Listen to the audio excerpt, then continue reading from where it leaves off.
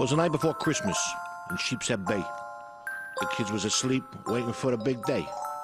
The stockings was hung by the furnace with care, in hopes that by morning they would all still be there.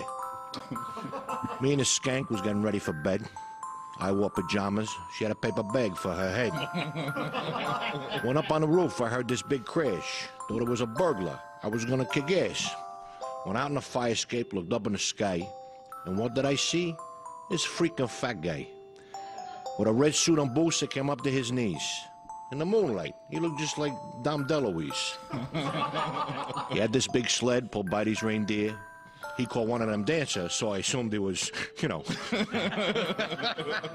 but as he crept off the roof, it became clear to me this guy was looking to steal my TV. Because over his shoulder, he had a big sack. He came down the stairs while I planned my attack. I waited a second till the timer seemed ripe and smacked him in the head bada bing with a pipe. he fell to the floor with a groan and a thud. I was kind of surprised I didn't see blood. Instead, he rolled over, looked me right in the eye. When I saw who I hit, I near started to cry. I said, Hey, yo, Santa, I'm sorry, all right? Not for nothing, he said, but this just ain't my night.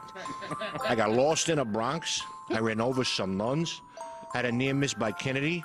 Rudolph's got the runs. I'm out all freaking night. I am busting my hump, but I can't continue now, not with this bump. So do me a favor. Be a real pal. Take over for me. You'll be Santa Claus, Sal. I said I'm from Brooklyn. I ain't right for the par. But he told me Santa Claus comes from your heart. He made me offer I couldn't refuse. Stop at every house, except for the Jews. It's regulation. You gotta pass over them. I got in the suit, and stepped onto the sleigh, wondering why reindeers all smelled that way. Took off on my mission, didn't want to be late.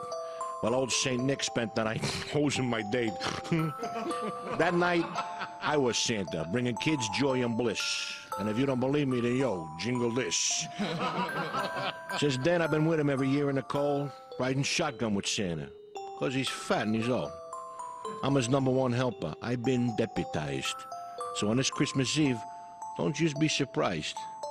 If you hear a voice, say really loud and abrupt, Merry Christmas to all. Thanks a lot. Shut up.